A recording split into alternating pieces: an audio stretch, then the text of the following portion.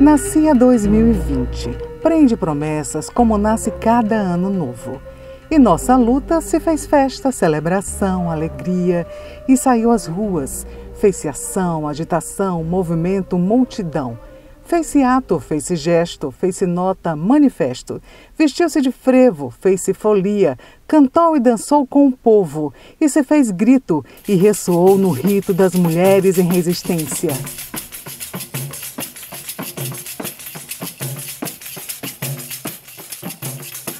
E tudo ensejava luta. A democracia em vertigem, as ameaças do desgoverno, a destruição dos direitos. De repente, a peste, a pandemia. A ADUF se fez força-tarefa. Há que prover máscaras, álcool gel, respiradores, alimentos, campanhas de isolamento, ficar em casa, aprender o trabalho remoto, tudo isso ao mesmo tempo, no turbilhão da luta, porque salvar vidas é preciso. E é preciso também salvar a educação, discutir o ensino à distância, o mundo virtual, as carências, as recusas, as escusas. A vida em modo hard diante do computador a luta sem tréguas, reuniões plenárias, assembleias, lives, eventos, palestras. Confrontamos o autoritarismo institucional. Exigimos treinamento virtual, período letivo experimental, condições de trabalho, acesso universal. Assumimos a vanguarda dessa e de outras tantas lutas e nossas contundentes notas deram o tom aos debates e decisões institucionais.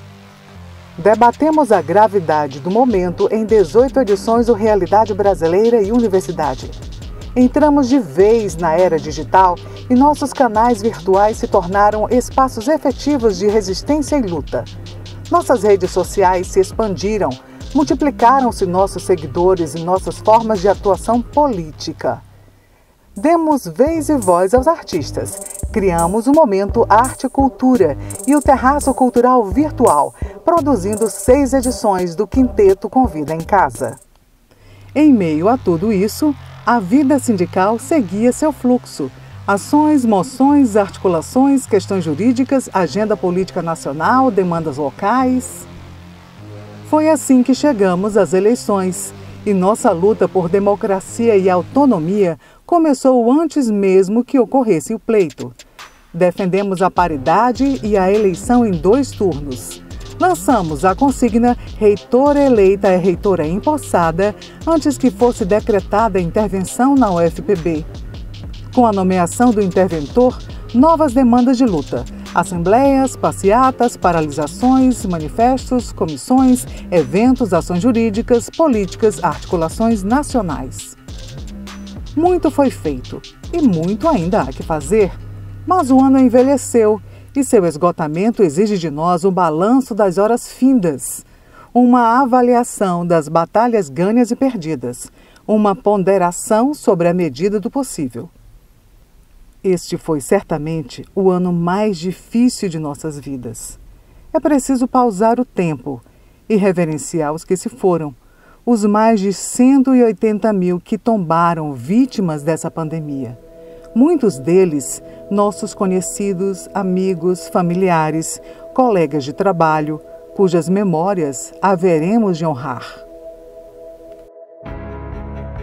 Decantadas as tristezas, que sejamos capazes de destilar a esperança. Porque, a despeito das agruras de 2020, um ano novo se anuncia Belo, porque tem do novo a surpresa e a alegria. Belo, porque o novo todo o velho contagia. Como um caderno novo quando a gente o principia. Que venha 2021, estaremos juntos. Quem tem sindicato nunca está só.